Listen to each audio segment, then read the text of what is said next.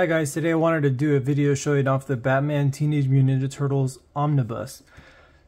So it comes in a really cool hardcover, you know, bigger than usual. Here's the standard size.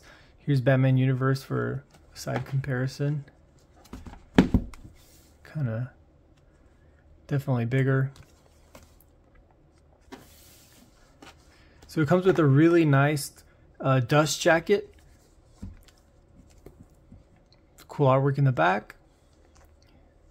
Here's the edge the spine. Very cool. Um, I'm to go ahead and take off the dust jacket and um, kind of show the interior artwork. We got the Krang, Shredder, Bebop, and Rocksteady. Really cool mutagen color. Kind of do that in the back as well. With uh, Batman working on the Batmobile, Raph, and all the inner workings of the Batcave. One thing to point out is I did get some bending, which kind of happens a lot with um, with dust jackets. But the artwork on it's really cool. I'm glad I'm seeing Donatello there. He's my favorite turtle. I don't like to read hardcovers with the dust jackets on. So we got a really cool wraparound cover. Kind of showing off like different versions of the Turtles, different versions of Batman, as, long, uh, as well as like other members of the Bat family, like Batgirl, uh, Damian as Robin, Nightwing.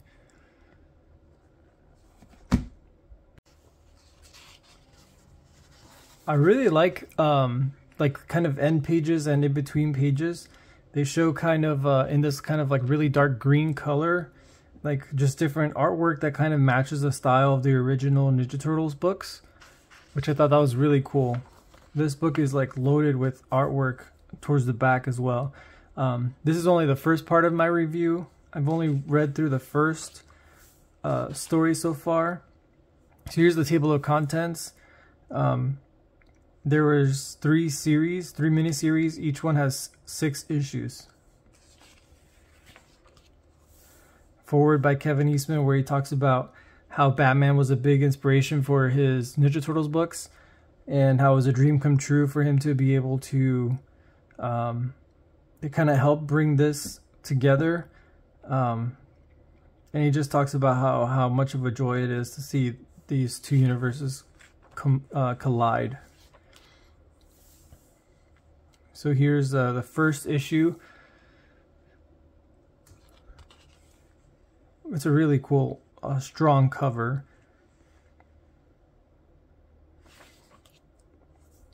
Here's another example of one of these pages. Each one of these pages is different from what I could see in between the issues. Um, so I just really love that. So we start off in a lab in uh, in Gotham, and the the Foot Clan is causing some trouble. This will go into spoilers, of course. Um, and I really like this introduction of the turtles. I really like the stark contrast and the and the dark colors for them. You know, showing them in the shadows. And I wish um, that kind of artwork would come across more or would be seen more throughout the issue. I haven't. I've only read through the first series, so we'll see. But I think it looks really awesome. It looks so cool. Got an introduction to Batman there. And um, Turtles, you know, getting their pizza. This is really just a, a, a springboard um, for the story. And it kind of it's kind of like a mystery as to why the turtles are in Gotham. And and and a big part of the story is, you know, realizing what happened and them solving um, the issue of them being stuck in Gotham and and them trying to get back to their universe. And one of the really fun things that they do is um, there's kind of like some overlapping within the universes as far as how like Killer Croc is in the sewers. So you would expect you, you'd expect there to be an encounter between the turtles and and Killer Croc, and we get that. That's like one of the first interactions, and it, it's really cool. And then, uh, you know, Batman has history with ninjas, you know, with the, the League of Shadows or League of Assassins. So it's not his first rodeo with the, with the ninjas, but this is the first time, of course, that he sees the Foot Clan. And here we get some really cool action. And, uh, you know, Mikey's the, the comedic relief. But all the turtles here, uh, as far as the first series, they get their time to shine. They all get their cool moments. And um, just the artwork is so cool. I wasn't expecting uh, the level of violence as well. There's there's some there's some blood going on. There's some kind of kind of hardcore stuff.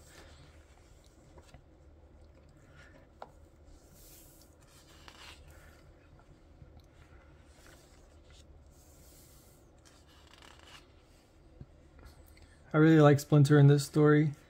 Um, he's just trying to protect his children, very wise. And um, as you go through the story, you see there's like a mutual respect between Batman and Splinter. And um, I think that's the end of the first issue. Is going to the next issue.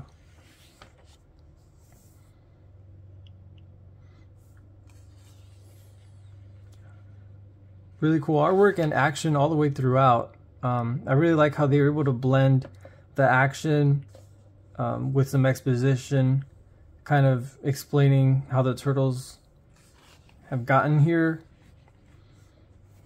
and uh, all the characters trying to figure out how to move forward. The Batman trying to figure out who the turtles are and where their loyalties lie. Are they good or bad?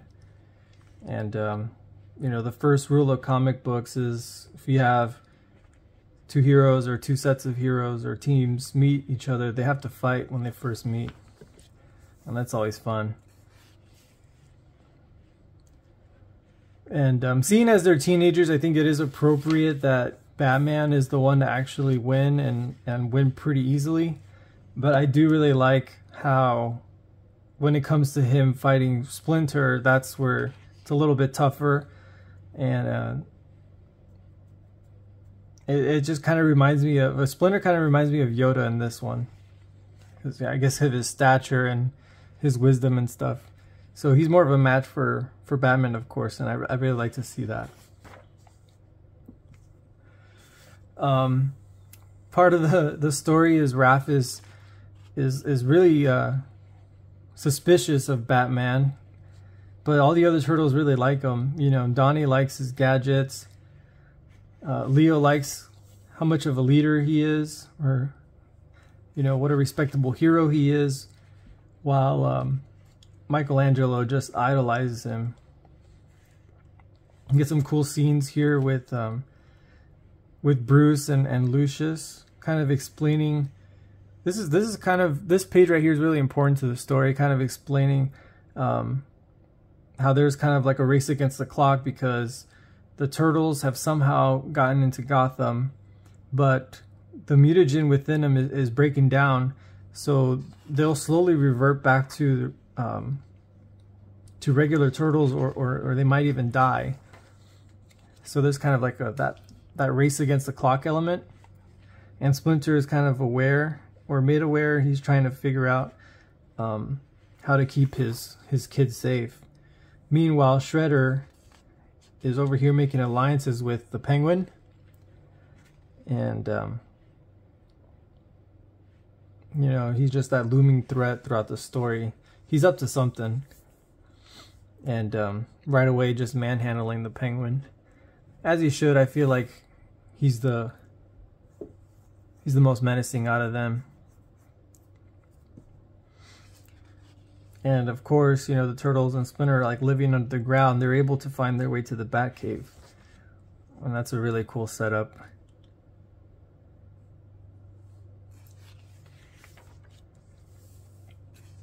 Over here we see, um, you know, more of that end artwork there, Robin.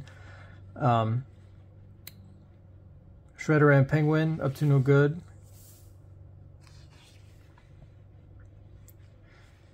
Maybe even uh, kidnapped the doctor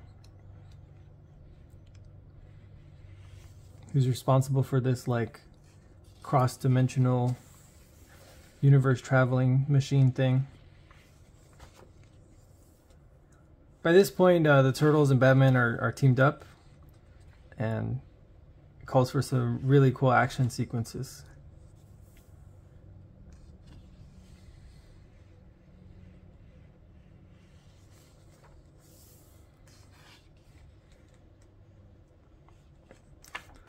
We'll scratch that. Well, they're, they're getting there.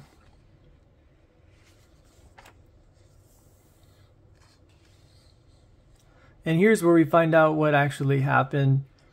Um, there's Splinter telling uh, to Bruce what's going on.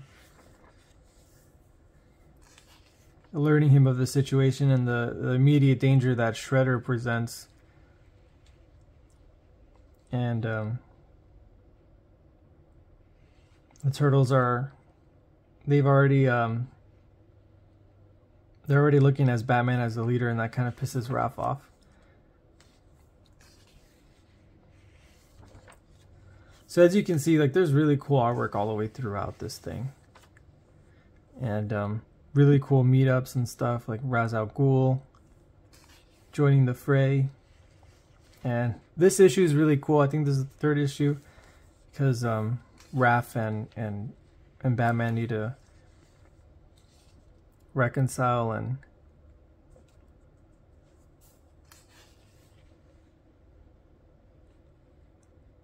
I really like the artwork here for the Joker. It's kind of eerie. And I think it was it was wise of him to take a back seat in this issue. Um, he's kind of a darker villain and um, I don't know, a, a, little bit more complex as well. So I'm glad it's just the Shredder, being the main antagonist here, and and Ra's al Ghul. One thing about this is it's gonna really make you want pizza. Anytime you read a Turtles thing or watch a Turtles show and stuff like that, you're always gonna want pizza. Here we see a Batman training with the Turtles.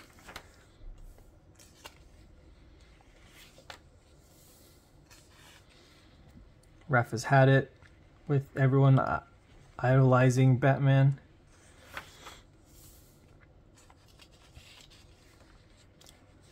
The evil schemes getting closer to fruition here. Casey comes back to help his friends.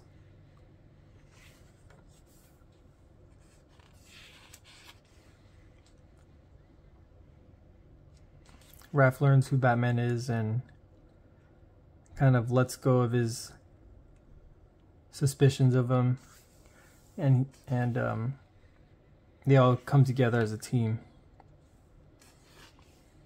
Meanwhile, it's revealed what Shredder wants to do.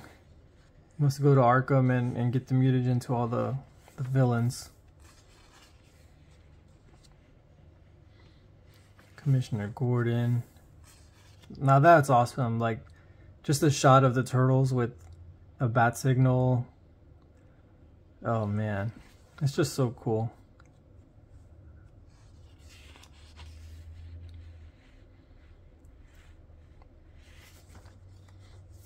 This is a really cool team up. And I, I like the way the uh, the comedy is, is brought in, you know, weaved in here and there with Mikey. He's always great.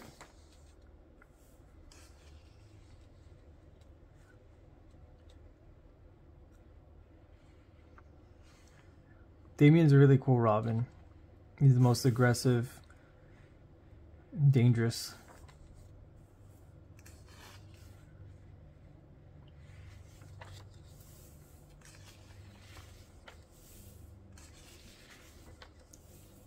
look look at this stuff a little bit quicker now. Um, but all the Arkham villains get get mutated.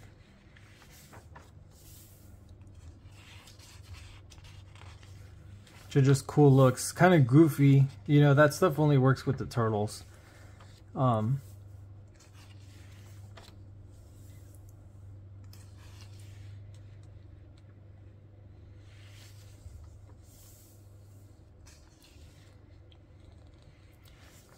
But in this case, it is cool. You know, just seeing them all come together.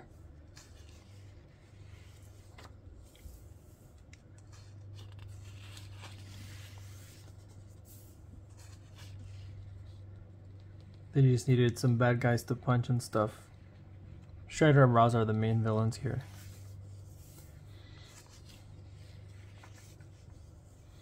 And that's the that's kind of the end. Can't wait to to read the next part. Um, it ends with the turtles, you know, going back home. So I, am kind of curious as to where it's going to go now. Um, but I, I, overall I really enjoyed the first uh, series. I think it's really cool that they they met up two more times, and um, it's just overall really fun. And the book itself is really cool, and I just can't wait to read the next part.